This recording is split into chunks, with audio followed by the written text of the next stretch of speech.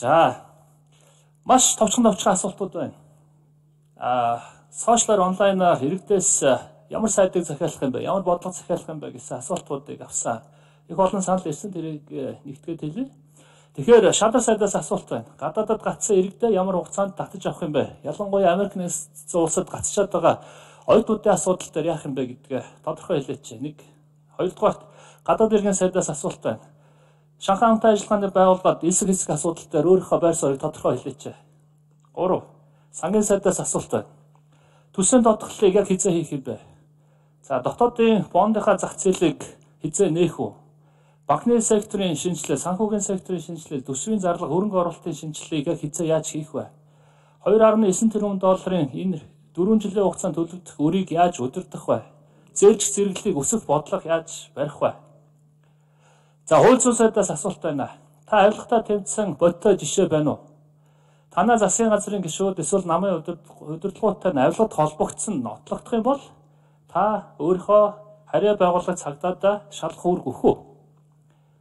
За 2-оос 3 тэрбум долларын авилга авилга авсан дарганы асуудал хөөн хилцэх хугацаа дууссан гээд 1-2 жилийн хойх ял авсан байгаа. Тэгэхээр үүн дээр ямар бодлого баримтлах вэ? Хуулинд өөрчлөлт оруулах уу? За хөдөлмөр нийгмийн хамгааллын сайдаас асуулт байна. Тэтгэврийн шинжилгээг хийх үү? Хизээ яаж эхлүүлэх вэ? За босрлын салбарын босрлын сайдаас асуулт байна. Босрлын салбарын шинжилгээг хийж чадах уу? Сургуулийн хүртээмж, чанар багш нарын чадварыг сайжруулах чиглэлээр ямар бодлого баримтлах вэ? Багш нарынхаа цалинг нэмэгдүүлэх тал дээр байр суурь байр суурь хатуу байж чадах уу? За соёлын сайдаас асуулт байна. Үндэсний онцлог, ондоошлыг тээж олон улсын түвшинд өөрийн урлаг соёлыг таниулах сурчилж байгаа уран бүтээлчтэйг яаж дэмжих вэ? Ямар бодлого барих вэ? За гадаадд зөвшөөрлөгөө гаргасан түүх соёлын өв үзмрүүдийг оруулж ор ирэх тал дээр ямар бодлого баримтлах вэ? За эрүүл мэндийн сайд, эрүүл мэндийн шинжлэх үү? Эрүүл мэндийн тухай хуулинд өөрчлөлт оруулах уу? За Монгол хүн яг энэ ковид вирусын үед гадагшаа биш Монголдо эмчилүүлэх орчныг нь бүрдүүлэх чиглэлээр ямар ажил хийх вэ? Засгийн газрын хэрэг газрын сайдад асуулт байна. Ажлын байрыг энэ 4 жилийн хугацаанд яг хэдээр нэмэгдүүлэх вэ? Тодорхой тоо өгөөч. Ичим үйлчний сайдаас асуулт байна. Усан цахилгаан станц, 5 дугаар цахилгаан станцын асуудлыг хэрхэн шийдэх вэ? За хүнс үдэ аж ахуйн сайдаас асуулт байна. Жижиг дунд үйлдвэрийн бүтцийг цаашаага сангийнхаа бүтцийг хэрхэн удирдах авч явуулах вэ? Үр ашгийг яаж дэвшлүүлэх вэ? За баярлалаа. Энэ бараг бүх сайдаас суучлаа. Дорчдорч тодорхой хариулт явууч. За шадар сайдад нэр дэвшсэн Янгуугийн Содбаатар сайд. Арын дорч тодорхой нэг нэг минутаар хариулт явуучих хаа. Төшөөлтийн өдрийн мэндийг төшөөлье. Тэгэхээр ковид цар тахлын үед Монгол улсын засгийн газар олон талд арга хэмжээ авч байгаа. Манай ард иргэд ч гэсэн энийг сайн мэдж байгаа. Өнөөдөр дэлхийн нийтэд бол 11 сая 692 мянган хүн энэ халдварыг авч 539 мянга 394 хүн нас барсан 6 сая 611 мянган хүн идэгж байгаа гэсэн юм тоо байгаа. Манай улсын хувьд 225 тохиолдол бүртгэж байна. Өнөөдөр 2 тохиолдол нэмээд 227 болж ах шиг байна. Үүнээс 190 хүн бүрэн имжлэгдэж 31 хүн өнөөдөр хөсөлтөд имжлэгдэж байна. Гадаадд байгаа иргэдэд татан авах чиглэлээр нийтдээ тусгай өргөн 32 нислэг зохион байгуулж 7 сарын 6-ны өдрийн 20 цагийн байдлаар Монгол Улсын хилээр 66129 хүн иргэнийг оруулж ирсэн байна. Мэргэжлийн хяналтын байгууллагуудын хяналтандор 12529 иргэнийг агарын авцсан төмөр замын байдлаар саяны тусгай өргөн байдлаар авчраад байна. Ялангуяа Америк нэгдсэн улсаас нэг удаа бид нар тусгай өргөн онгоцны нисгэж 276 хүнийг авчирсан. Сая 7 сарын 7-ны өдөр ирж байгаа энэ бас 2-оос 7-ны өдрүүд ирж байгаа 5 удаагийн тусгай өргөн онгоцны дул бас Америк нэгдсэн улстай манай иргэдээс 25 хүн хүрэлцэн ирсэн байна. Ер нь цаг үеийн нөхцөл байдалтай ажиллаа аваад танилцаад ялангуяа энэ гадаадд байгаа эрэлттэй холбоотой асуудлаар тодорхой шийдвэр гаргая гэсэн бодолтой байна. Нөхцөл байдлыг газар дээр нь танилцсны дараа чиглэлүүд харах хаа гэж бодож байна. Тодорхой хариулт тэр үед өгөө. Тухайн үед тодорхой хэмжээнд хамж хэрэгжүүлнэ. Баярлалаа. За Нямбатар сайд Гişгэгийн Нямбатар Доржонт гишүүний асуултанд хариулъя. Таны эхний асуусан асуулт бол авилгатай тэмцэх газрын чиг үүрэгтэй холбоотой асуултууд асуух шиг боллоо. Энэ бол Монгол улсын их хурлаас удирдлагууд нь томилогддог, их хурлаас томилогддог байгууллага байгаа. Ер нь бол цаашид энэ Ерөнхийд албаны бүтэц тогтолцоог нэг төвшөнд аваачиж өөрчлөх юм шаардлага байгаа гэдгийг бас түрүү үгэндээ хэлсэн байгаа. За хуульч хугацаатай холбоотой зохицуултыг бид яаж өөрчилсөн бэ? Түрүүн бүрөвдөр згшин бас жоохон ташаарч ойлголт төрүүлж илээ.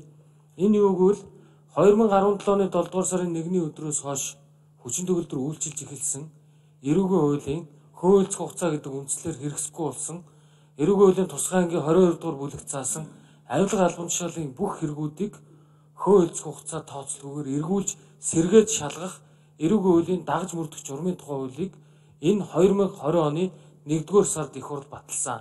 Иний дагуу авилга албан тушаалын хэрэгт холбогдуулан хуульч хугацаа гэдэг үндслээр хэрэгсэхгүй болсон бүх хэрэгүүдийг прокурорын байгууллага дээр сэргээн шалгаж шүүх рүү шилжүүлэх юм процесс явж байгаа. За эцэст нь та нэг ийм зүйл асуусан энэ эрүүгийн хуулийн тусгай ангийн 22 дугаар бүлэгт заасан авилга албан тушаалын эсрэг гэмт хэрэгт ногдуулах ян шитгэлийн бодлогыг чангадах уу гэдэг талаас асуух шиг боллоо. Ер нь бол аливаа төрийн тодорхой төрлийн гэмт хэрэгтээ тэмцэх чиглэл нь өөрөө ян шитгэлийн бодлогоор дамжиж илэрдэг. Тэр утгаараа энэ авилга албан тушаалын гэмт хэрэгтээ тэмцэх тэмцлийг энэ удаагийн засгийн газрын үйл ажиллагааны мөрийн хөтөлбөрт орно. А Монгол Ардын намаас дэвшүүлсэн мөрийн хөтөлбөрийн бас тодорхой бүлэг заалт болж орсон. Тэр утгаараа энэ авилга албан тушаалын хэрэгт ногдуулж байгаа яш итгэлийн бодлогыг чангатгах эрүүгийн үйлд нэмэлт өөрчлөлт оруулах ийм ажлууд цаашид үргэлжилж явагдана гэдэг. Бацуур гишүүний түрүүний асуултанд хариулж.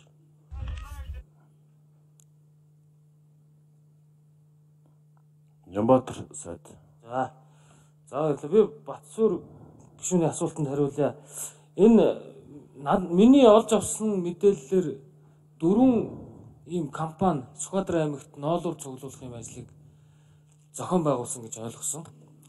За хөгжлийн банк дээрх дөрвөн байгууллагыг тухайн чиглэлээр үйл ажиллагаа явуулдаггүй, туршлагагүй, тодорхой шаардлага хангаагүй гэдэг үндслээр хөнгөлтөө зээл олгоогүй гэж ойлгосон. Үүнээс шалтгаалж ноолуураа тушаасан иргэд өнөөдөр хүртэл одоо ноолуурынхаа мөнгийг авч чадахгүй юм нөхцөл байдал үүсэж байгаа юм байна. Энийг холбогдох байгууллагад одоо чиглэл өгч тодруулж шалгах юм ажлыг зохион байгуулъя гэж бодож байна. Мэнцэхэн сайд. Ноолуурын үнэтэй холбоотой асуулт. Бацуур гишүүний асуултанд хариулъя. За энэ дэлхийн нийтийн орсон цар тахал гарсантай холбоотойгоор мал малын гаралтай бүтээгдэхүүний төв хэдийн үн буурч байгаа юм байдал ажиллаж байгаа. Энэ ингээд малчт мал эргийн бүхий иргэдэд энэ шүлдээс засгийн газрын их хурлаас тогтоол гарсан байгаа. Энэ тогтоолын явуулга нь бол 1 кг ноолор тутамд 20 сая төгрөгийн дэмжих татвасыг олгосон. За энэ бол малчтын насанд буруу орсон байгаа. За сухад таны асуудал бол Сүхбаатар аймгийн хүрээнд 105 сая төгрөг гээд тогтоод хүн яам бодлогын гэрээ хийгээд за энэ тогтоож өдр гарахаас өмнө авах асуудал байгаа. Тэгэхээр энэ 20 сая төгрөг нь бол яваад орчихсон байгаа. За аймаг төр нийтдээ дөрвөн сумын асуудал байгаа. Хоёр сумынх нь тэр 105 мянган зөрүү буюу 85 мянган төгрөг нь бол шийдэгдээд орцсон.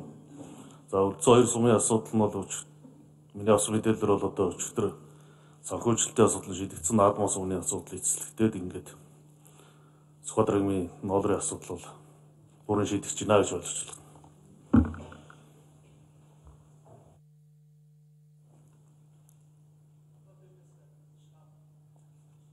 За гадаад хэргийн сайд 150 Ням цэрэнгийн 150 Шахабыг одоо ч хариулдаг асуудал шүү дээ. Гадаад бодлогын үнцийг улсын хурлах таанаж. За дор чамд гишүүний асуултанд хариулъя. Монгол улс 2004 онд Ишхабд одоо ажиглагтай статустайгаар нэгдээ орсон байдаг. Үүний дараа хамгийн сүүл буюу 2018 онд Монгол улсын ерөнхийлөгч бүгд найрамдах хятад улсын Чандаавад болсон Ишхабын дэд хэмжээний уулзалтын үеэр Монгол улс Ишхаб шат нэмж ахих боломжийг судлаж байна гэдэг ийм мэдээлэл хийсэн байдаг. Энэ ажлын хүрээнд өнөөдөр гадаад харилцааны яамн дээр тодорхой ажлын хэсэг одоо ажиллаж байгаа. Хэрвээ би одоо гадаад иргэн сайдаар томилогдох тохиолдолд гадаад иргэн яамны бүтцэд ишхавын асуудлыг хариуцсан тусгай нэг байгуулад ишхавын асуудлаар маш тодорхой одоо дүгнэлт хариултыг өгөх болно. Баярлалаа. Судалгааны ажил явж байгаа гэж. За соёлын сайд Самбалдан дурын чулуу үндэсний брендийн зөвлөл гэж ажиллаж байсан. Саяны тэр ондоошил National Identity энэ гэдэг асуусан. Тий. За дорчин гишүүний асуултанд хариулъя. Тэгэхээр соёл урлагийн урлагийн салбар биш. Ер нь бол соёлын бүхий л салбар чиглэлүүдийн үйл ажиллагааг бүс нутаг олон улсын түвшинд гаргахад соёлын яам, бодлогын хувьд, үйл ажиллагааны хувьд аа бүрэн дэмжлэг үзүүлэх энэ төлөө ажиллана. Ялангуяа мөрийн хөтөлбөр заагдсан кино урлагийг дэмжих, санг тогтмолжуулах, үйл ажиллагааг нь дэмжих олон улсад гарах тэр гарахт нь дэмжлэг үзүүлэх энэ тал дээр ажилланаа. Соёлын бусад үйл ажиллагаанууд байна. Дэлхийд дахинд гаргах үцгэлэн олон зүйлүүд байгаа. Хоёрт нь гадаадд зөвшөөрлгүй гарсан Монголын соёлын өв гэж байгаа. Аа соёлын боловсрол соёл шинжилгээ ухааны спортын одоогийн яамн дээр соёлын газраас бол авсан мэдээлэлээр бол гадаадад албан ёсоор гарсан үзэгэл ингээс үлдсэн нэгч дурсгал байхгүй гэж. А хууль бусаар бол гарсан зүйлүүд бол олон байгаа бах. 90-ад оноос хойш бол олон гарсан. А би өөрөө түүх археологийн хүрээлэнг хариуцж ажиллаж байхдаа бол гадаадад хууль бусаар гарсан дурсгалуудаас хүртэл их орондоо буцааж авчирсан олон туршлага зүйлүүд байгаа. Тэгэхээр гадаадад одоо гаргахгүй байх гарсан зүйлийг л хөөцөлдөх энэ ажил дээр бол анхаарч ажилланаа. Баярлалаа.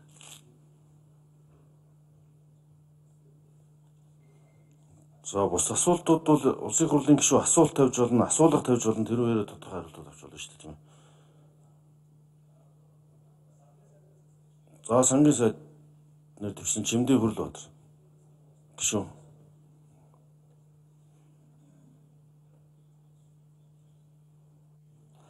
За дорчонд гишүүний асуултанд хариулъя.